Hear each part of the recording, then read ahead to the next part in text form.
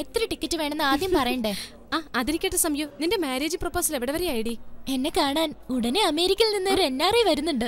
N R I മണവാളനോ? സ്ത്രീധനം എത്ര അടി അവർ ഇവളുടെ ഡാഡിക്ക് പത്ത് ലക്ഷം ഇങ്ങോട്ട് കൊടുക്കും. അപ്പോഴേ ആ സൂപ്പർമാന്റെ പേരെന്താ? അജയ്. അജയോ. അജയ് ഹായ് ഹായ്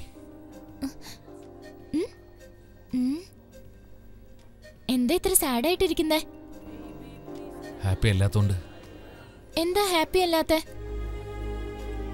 ഒന്നുമില്ല വിട്ടേക്ക്. എന്തു പറ്റിയതാ? പറയാൻ പറ്റില്ല. എന്തുകൊണ്ട്? പറയാൻ പറ്റില്ല അത്ര തന്നെ. എന്താ പറ്റിയത്? ജിമ്മിലും ഇപ്പൊ കാണുന്നില്ലല്ലോ.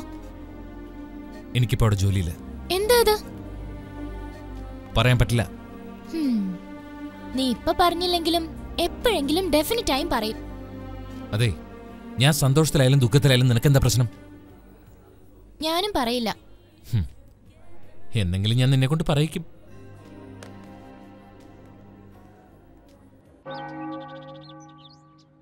ഫാദർ. ഫാദർ. എന്റെ പേര് മൈക്കിൾ. ദൈവസന്നിധിയിൽ പേരൊന്നുമല്ല മുഖ്യം. മനസ്സാ. ആ മനസ്സാ എന്റെ പ്രശ്നം. പ്രശ്നങ്ങളൊന്നും ഇല്ലെങ്കിൽ മനുഷ്യനെ അല്ലാതിരിക്കണം. എന്താ പ്രശ്നം? പ്രേമം. പ്രേമോ. ആ പെണ്ണ് വന്നിട്ടുണ്ടോ? ഇല്ല ഫാദർ. ഞാൻ പ്രേമത്തിലാണ്. അതിൽ പ്രോബ്ലം എന്താ? ഞാൻ പ്രേമിക്കുന്നത് പുരുഷനെയാണ് അയാൾ പ്രേമത്തിന് ഓക്കെ പറഞ്ഞില്ലെങ്കിൽ ഞാൻ ചത്തു കളയും. No no no no no. കഷണ്ടിയുള്ള ആരെങ്കിലും തലവെട്ടി കളയുമോ പ്രേമം അങ്ങനെയാ അയാൾ നിന്നെ വേണ്ടെന്ന് പറഞ്ഞാലും മറ്റൊരു ഉത്തമ പുരുഷൻ നിന്നെ തേടിയെത്തും. ഉത്തമ പുരുഷനോ? അതെ. അവന് ദൈവം നിനക്കായി അയക്കും. താങ്ക് യു ഫാദർ ആ ഉത്തമ പുരുഷൻ എങ്ങനെ ഇരിക്കും അയാളെ ദൈവം രക്ഷിക്കട്ടെ. ദൈവമേ. എത്ര നാൾ ഇങ്ങനെ മാറ്റി വെക്കാൻ പറ്റും? ഇങ്ങനെയായി ഈ കേസ് ക്യാൻസൽ ആയി പോവും എന്ത് വേണമെന്ന് ഡിസൈഡ് ചെയ്തിട്ട് ഫോൺ ചെയ് കമിൻ ഹായ് മമ്മി. ഇതാരാന്നറിയോ ആ, ഭാവിയിലെ കളക്ടർ അജയ്.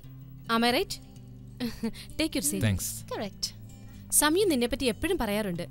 ആ നിന്റെ അച്ഛൻ എന്ത് പറയുന്നു? ഞാൻ വരുന്നതിന് മുമ്പ് എന്റെ ബയോഗ്രാഫി എത്തിക്കഴിഞ്ഞു.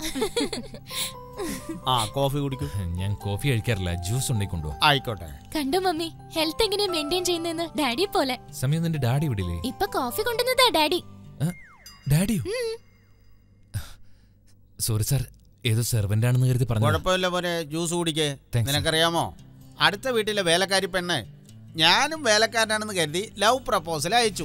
ഞാനൊക്കെ പറഞ്ഞു എന്റെ ഭാര്യ അത് പൊളിച്ചു. ഫസ്റ്റ് ഇൻട്രൊഡക്ഷനിൽ തന്നെ നിങ്ങളുടെ ലവ് അഫെയർ പറയേണ്ട വല്ല കാര്യമുണ്ടോ? പിന്നല്ലാതെ അവൻ ഇൻസ്പയർ ആവട്ടെ. ഹൗസ് ഹസ്ബൻഡ് ആ ഇതിനു മുമ്പ് കുറെ കാലം ദുബായിൽ ഷെഫായി ജോലി ചെയ്തു. ഇവിടെ വന്നതിന് ശേഷം ഭാര്യയുടെ ഫ്രഷ്നെസ്സിന് വേണ്ടി വീട്ടിലെ പാചകം ഞാൻ തന്നെ ചെയ്യുന്നു. You are great sir of course എല്ലാവരും ഇങ്ങനെയൊക്കെ തന്നെ പറയും.